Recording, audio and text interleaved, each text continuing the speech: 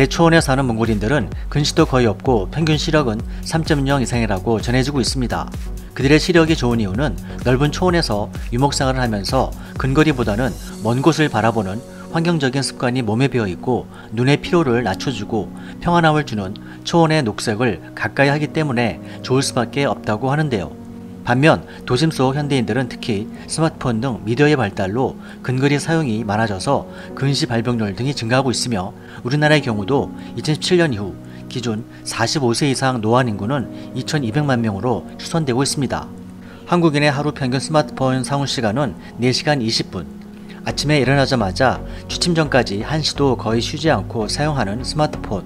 청소년들의 게임 몰입은 더욱 고민인데요. 보통 40대 중반에 접어들면서 자연스레 노안이 시작되지만 점차 그 연령대도 낮아지고 있고 속도도 더욱 빨라지고 있다고 합니다. 작은 화면의 스마트폰 사용은 눈 깜빡임을 3분의 1, 5분의 1로 현저히 감소시키기 때문에 눈물샘과 눈 근육을 약화시키고 이로 인해서 눈을 건조하게 하고 결국 수정체를 딱딱하게 만들어 초점을 낮추기가 어려운 노안을 초래하게 된다고 합니다. 뿐만 아니라 눈을 많이 써서 생긴다는 백내장 그리고 녹내장이 30대 중반에서도 일어나고 있다고 합니다.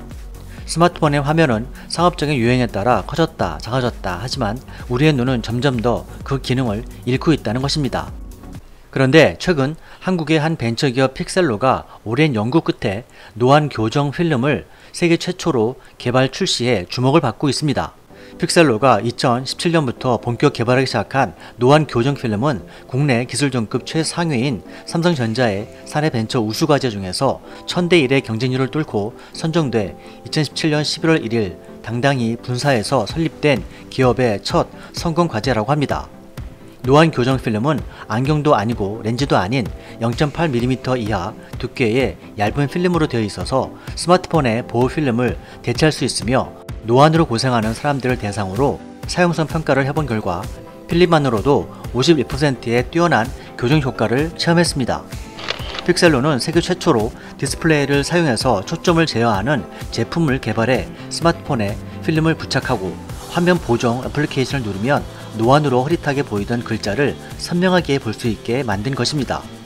또한 사물 인터넷 기능이 적용이 돼서 사용자 시력에 따라 맞춤 시력 보정이 가능하며 하루 4시간 이상 휴대폰을 사용하는 사람, 온라인 학습을 진행하는 학생들에게 매우 유용한 필름입니다.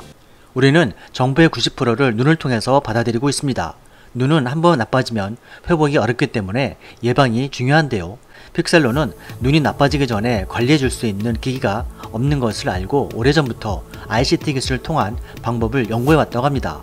ICT를 통해서 눈 건강 관리를 도와주는 모바일 헬스케어 제품과 서비스를 개발하게 된 것입니다. 픽셀로의 강 대표는 노안 테스트, 눈 건강 운동 기능과 함께 향후 색맹 측정, 난시 측정 서비스도 확대할 계획이라고 합니다. 그리고 PC 모니터용 시력 보정 제품과 어린이용 스마트폰 필름 등 후속 제품 출시도 계획하고 있다고 전하고 있습니다. 현재 한국은 인구의 노령화가 빨라지면서 노안에 대한 관심이 높아지고 있고 이것은 한국뿐만의 문제가 아니어서 복잡한 한자어나 아랍어를 쓰는 중화권이나 아랍권 등 해외에서도 높은 관심을 가지고 있기 때문에 올해 말 양산을 앞두고 있는 픽셀로와 국내외 업계 관계자들은 전 세계적으로 확산되고 있는 노안 문제를 해결할 시력 보정 필름의 활약을 기대하고 있습니다.